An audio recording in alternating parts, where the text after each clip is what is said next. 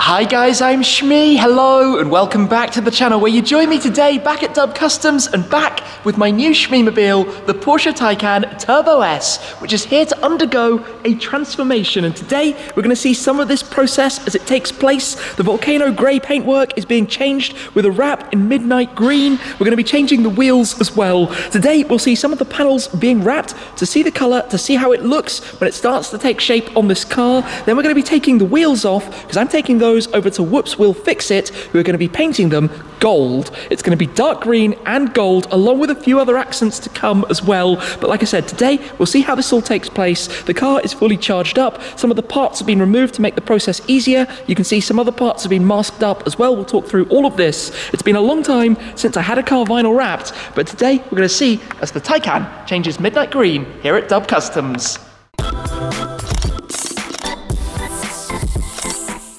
I brought it in the other day, parked it up here, although the company has changed. We now have a nice Huracán Spyder alongside, but the Taycan is ready to start the process, to start the vinyl wrap work itself. As you can see, parts have been removed, things like door handles, and the reason you do that is so that you can do the entire panel basically in one part. So the door mirrors as well, otherwise you'd have to have a join line just above. Then when it comes to the masked areas, as you can see, the reason for this is to stop any dirt that could get on the underside of the vinyl, but also to stop the vinyl from sticking down in awkward places as well. I think a few other things. Maybe the roofline trims will need to be pulled out, but the badges have been taken off. The same with the headlights because of the way they're finished. You want to have those masked to make it all a little bit easier. But let me just come through quickly to remind you of what exactly we're doing. We have the roll just here of the metallic midnight green. Of course, it's quite hard to see when it's on a, a vinyl rolled like this. It will look completely different when that's on the actual car, but we're going to see some of that as it all starts to happen here. I've popped the charger away back in the boot for the time being, but I think we're going to get started maybe with a door, maybe with a wing panel. We'll have to see exactly what happens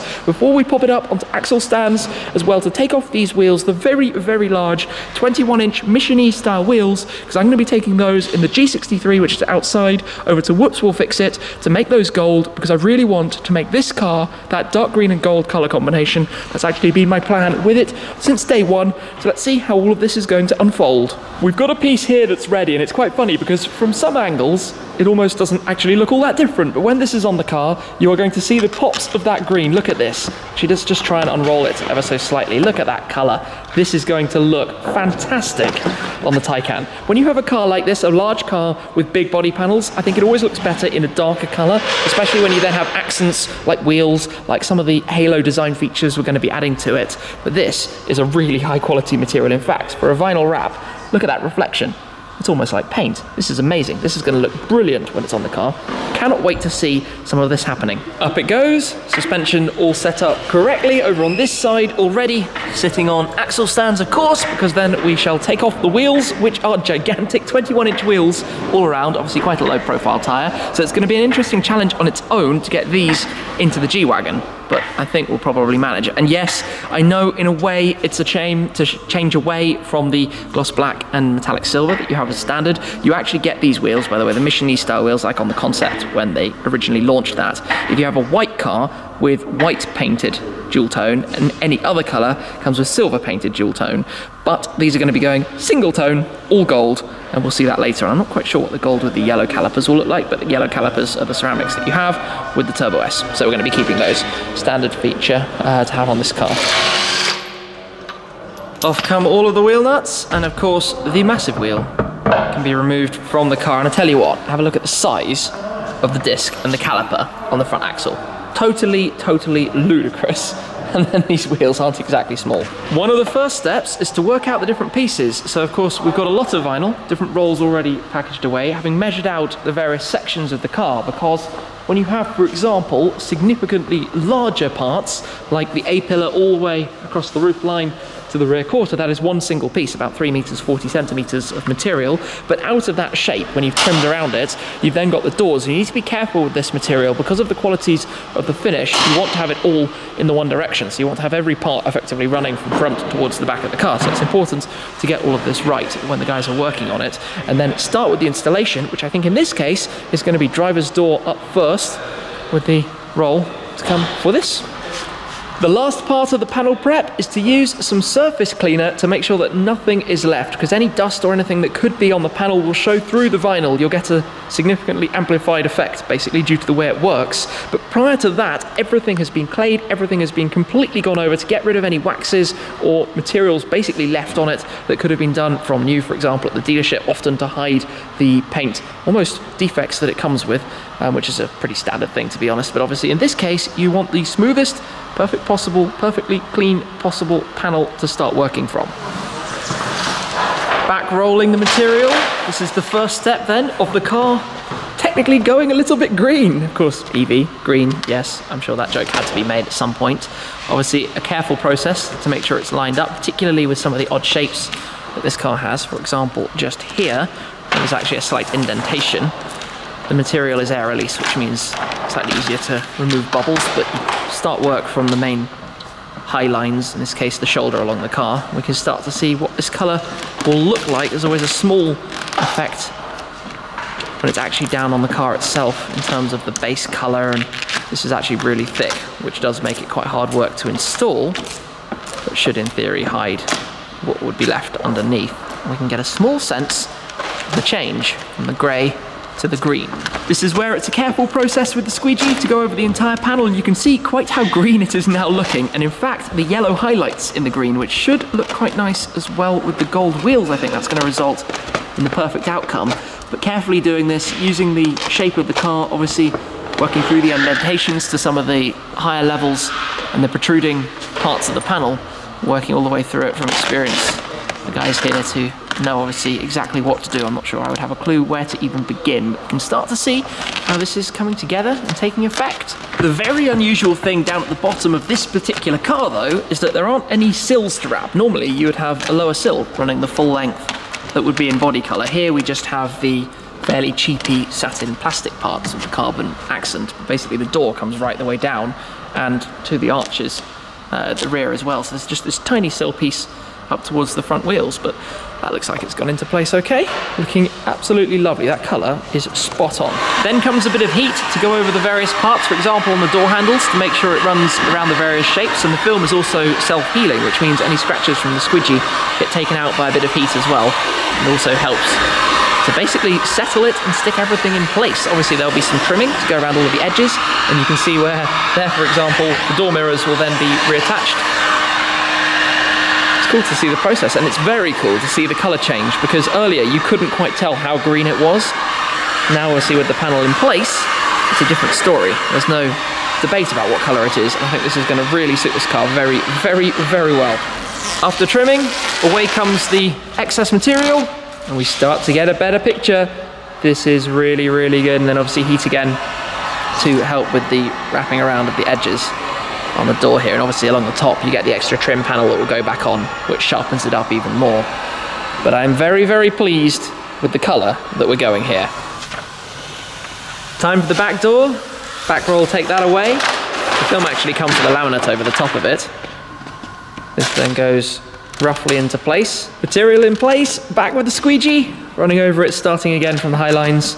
It's fascinating to see how it goes from being that rough material to ultimately sticking perfectly to the shapes of the car, then being trimmed out and giving the completely new look. Like I said, it's been a while since we've done this with one of the Shmeemobiles, but the plan was always with the Taycan, it won't be a permanent car in the garage, so I couldn't have it necessarily painted or wait a year, I guess, for a new car to come in exactly the right colour.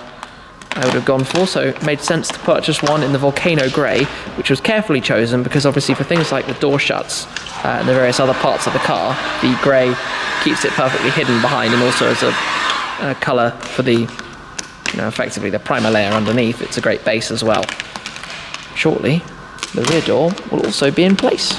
The second door is now finished and looking awesome. Of course, the handles need to be completed and then reinstalled as well, but the color of this is turning out brilliantly. And remember, you need to see the finished product. It's very hard to gauge the look of a color change when you've got this dual tone patchy look going on. But mark my words, this will suit the Taycan very, very well. Much darker, like I said, than the standard Mamba green that you can have on the Taycan, but much more up my street than the standard Volcano gray that we have on this car. So next up is to take these wheels outside to get them loaded into the G, to take them over to be transformed as well.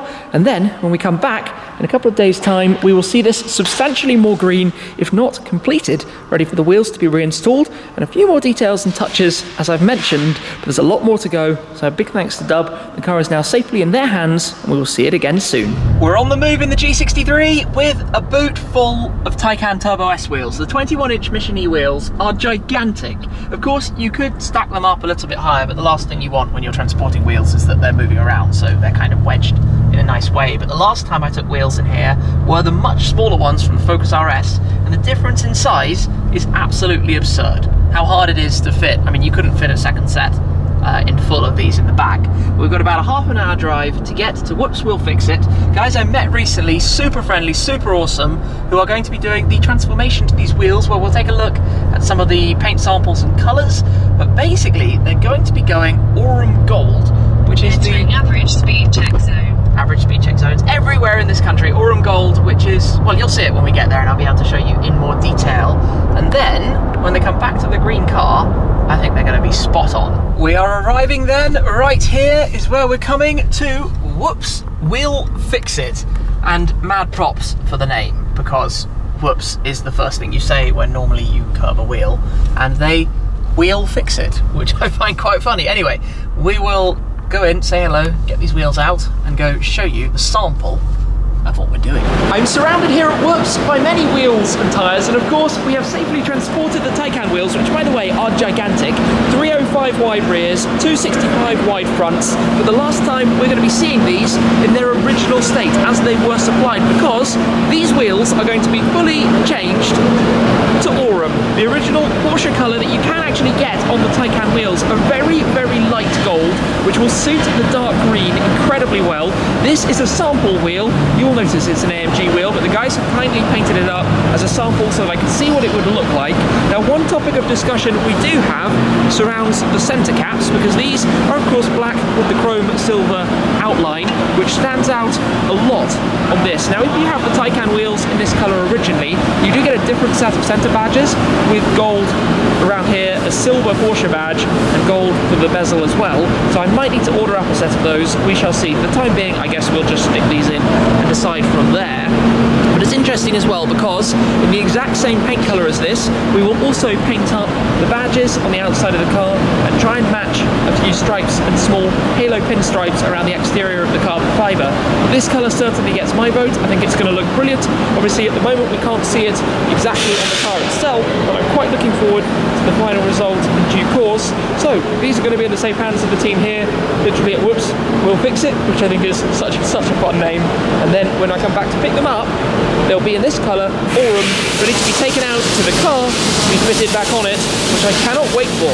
I've just been having a crash course in how the equipment here works. I'm going to take you quickly through the process of what my wheels are going to be doing before we see them next. So they will start here the acid bath where the paint will be stripped off them.